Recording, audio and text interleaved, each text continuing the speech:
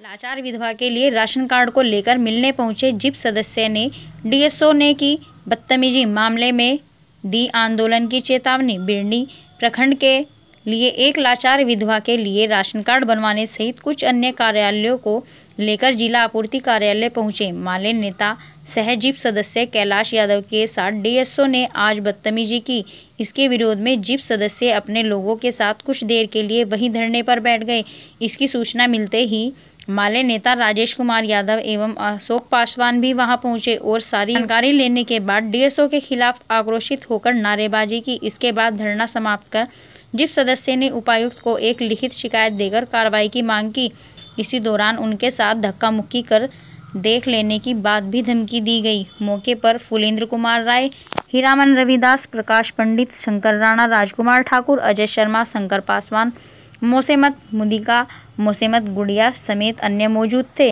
Party के बिरनी के एक जिला परिषद सदस्य, कॉमरेड कैलाश यादव, अपने क्षेत्र के एक सवाल को लेकर के यहाँ डीएसओ के यहाँ आए थे और जिस सवाल को लेकर वो आए थे, उस संबंध में वहाँ के किसी भी कर्मी के द्वारा जब सही तरीके से बातचीत नहीं की गई तो जिला परिषद साथी ने डीएसओ से मिल करके उस पर बात की और बात करने के बाद उन्होंने उनसे अपना नंबर मांगा कि आप नंबर दिए चूँकि हम लोग दूर से आते हैं तो इसलिए उनको नंबर ज़रूरी था। उन्होंने जो ही नंबर की मांग की तो डीएसओ ने उन, उनके साथ बदतमीजी की कि हम आपको नंबर नहीं दे सकते आप कौन होते हैं नंबर लेने वाले। इस तरह का बहुत तरह के अनपेक्षित तरीके से उन्होंने व्यवहार किया है।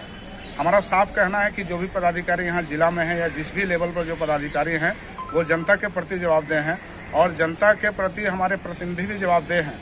अगर कोई प्रतिनिधि आकर पदाधिकारी से मिलता है और उनसे अगर मोबाइल नंबर की मांग करता है तो ये कोई गलत बात नहीं है। लेकिन ये करने के बजाय उनके साथ बदतमीजी करना, ये गलत है। हमारी पार्टी इसकी निंदा करती है और हम समझते हैं कि इस पर अगर जो अभी जिला परिषद सदस्य ने लिख करके डीसी को एक ज्ञापन भी दिया है इस संबंध में, हम मांग करते हैं कि इस पर जाँच और उचित कार्रवाई हो।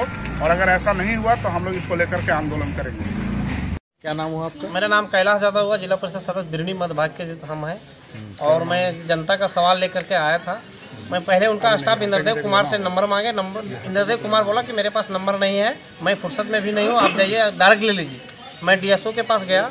डीएसओ के साथ जब जैसे बैठे तो जनता के साथ बीच में कर रहा था, जनता को बीच में, जनता को कह रहा था कि भाई आप यहाँ से चले जाइए, आपका काम नहीं, दरवाज़ा बंद कीजिए। मैंने डीएसओ से यही सवाल किया कि डीएसओ साहब, आपने जो इनको जनता को हटा रहे हैं, जनता काम के लिए आया है, जनता पेट्रोल, डीजल जला के बहुत दूर से आया इनका बात को सुन लीजिए।